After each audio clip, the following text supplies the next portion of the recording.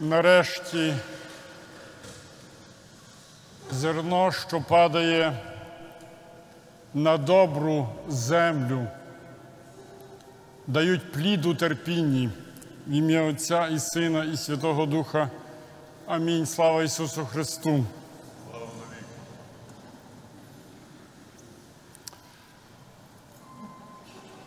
В аграрній політиці землю все-таки ділять на певні гатунки краща, гірша. І так вона коштує, так вона вартує. Про це, якщо аналізувати родючість землі, дуже пасує до сьогоднішньої притчі старе українське слово ґрунт. Якщо аналізувати ґрунт чи землю в Нідерландах, в Ізраїлі, в тих південних сухих районах землі, де брак вологи, забагато сонця, Голландія, яка не має забагато сонця, не має забагато тепла. Однак ці країни постачають майже світові і фрукти цитрусові. Голландія заполонює цілий світ, Європу чудовими квітами, не тільки квітами. Там родиться все. Чому так є? Ми, українці, наша земля, здається, найкраща, та не здається найкраща. Про це, крім зерна і добрих урожаїв зерна, ми ще не здобулися. Чому? І задаємо собі таке питання.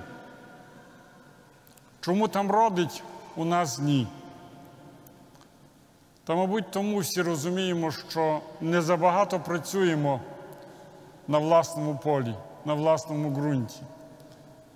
Не використовуємо достатньо сучасних технологій в аграрному комплексі.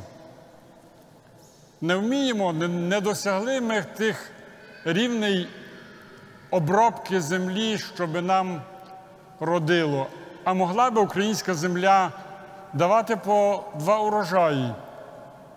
Може, ми на шляху, але, мабуть, ще розуміємо, ще недостатньо працюємо над тим, щоб мати такі успіхи. Нарешті те, що впало на добру землю. Якщо говорити сьогодні про Слово Боже як зерно, чи як зерно, як Слово Боже, то теж питаємося самих себе. Ми чуємо тут у храмі Боже Слово, котре має кожну вагу, особливу вагу, промовлене колись Христом Месією, записане апостолами. Пішло у світ для того, щоб спасти людство, дати напрямок життя, який веде до Царства Божого. Чому не дає плоду? І Христос у цій притчі розшифровує чийсь ґрунт душі є дорогою, затоптане. Бо якщо топтатися по власному сумлінні і не реагувати на крик душі, особливо тоді, коли кричить душа, що хвора, що в гріхах, що віроломна, що неправдива,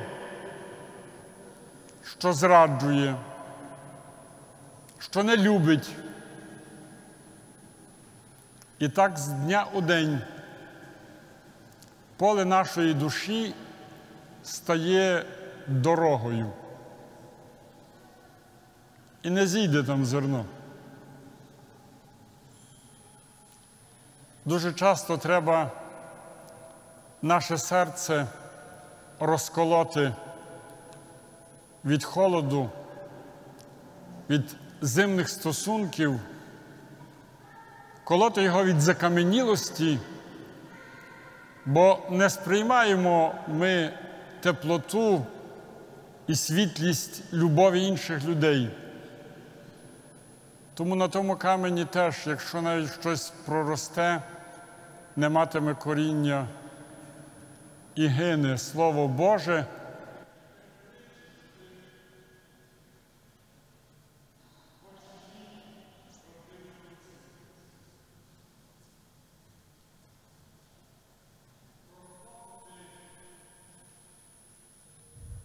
Клопоти життя,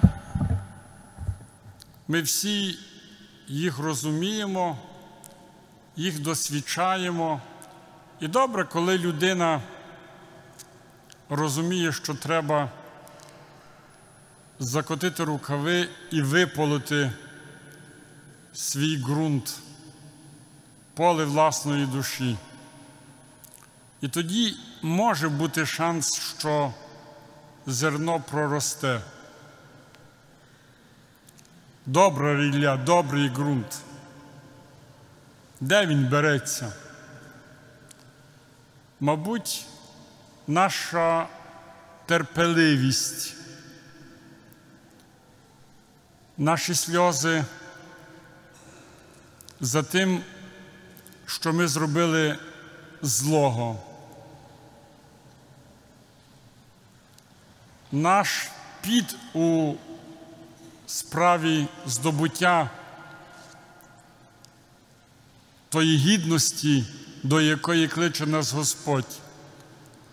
Наші сльози, теплота нашої душі, нашого серця, усе це падає на ґрунт нашої душі, його зволожує, гріє. І кожен з нас має шанс і повинен працювати над тим, щоб зерно, котре кидає, кидає Христос Господь на ґрунт світу, на ґрунт нашого єства, проросло і дало плоди. Ми чуємо тут добре євангельське слово, яке нас заворожує, яке кличе, з яким годимося. Але там за порогом починаються клопоти, починаються розмови, починаються наші міжлюдські стосунки. І дуже часто, навіть доходячи додому, ми забули, що було прочитано, яке євангельське слово було виголошене. А мусимо розуміти, що ми є відповідальні за то слово, за то зерно, яке Господь кожного разу понині сіє. Не може воно пропасти, не має права. Однак Господь віддав цю позитивну справу росту нам на волю людську. Добре зерно, що впало на добру ріллю, на добрий ґрунт.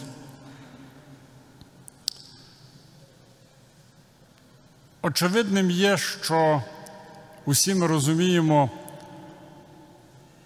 що слово зерно було сіяно від віку Господом для того, щоб спрямувати народ Божий до спасіння, до добрих, теплих, взаємних стосунків через правдивий глибокий діалог міжлюдський. І зерно як слово має дати відповідні плоди у цьому напрямку. Каже Господь в Євангелії в одному місці, що за кожне неправдиве, задармо мовлене слово, Господь буде питати рахунку. Кожен з нас мусить дати звіт з того, що сказав. Ми якось дуже часто так не розбираємо, з ким, що і про що говоримо. Скільки слів, як зерна, а може полови, сиплеться з наших уст в енергію цього світу. І розуміємо, що мусимо співставити, що ми сіємо, що сиплемо на ґрунт того світу, а що Бог, а що Бог робить. Ми мусимо взоруватися на зерно, на Слово Боже і на те, що виходить з наших з вами уст. За кожне сказане слово, як зерно, ми теж мусимо здати звіт. І, мабуть, цей звіт мусить бути від нас за те, що ми почули, а недостатньо зробили для того, щоб на ґрунті нашого єства, нашої душі проросло і дало плід зерно Боже. Тому нехай і сьогоднішня наша молитва, наша застанова над Євангелієм, над тим, над працею того доброго сівача Христа Спасителя буде чула наша душа і працюватиме над тим, аби ні одна зернинка Слова Божого у цьому світі на ґрунті нашої душі не пропала, проросла і дала плід. Амінь. Слава Ісусу Христу!